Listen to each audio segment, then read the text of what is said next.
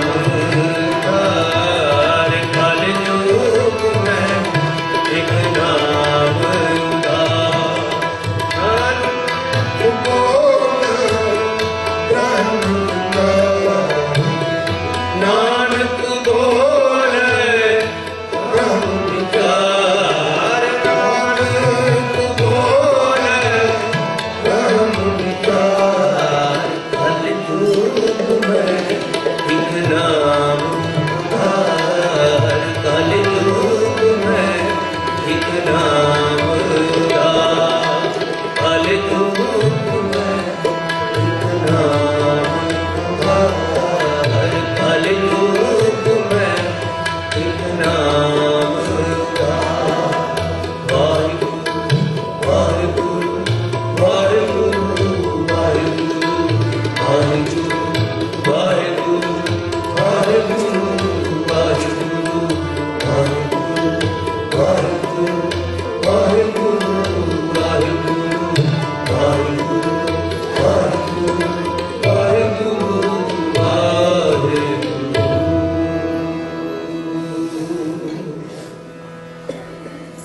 Singh ji.